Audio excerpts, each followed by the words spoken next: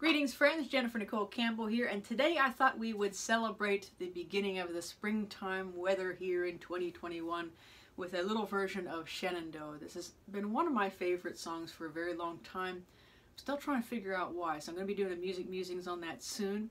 But in the meantime, I thought this would be a great way to start our springtime. It's a time of hope and renewal and transformation, right? Uh, it's it's like uh, the seed, right? The seed is cold and hard and then once it starts to break open, uh, we start to see the beginnings of new life and springtime. And uh, I think we're seeing a lot of that now, which is a very joyful thing.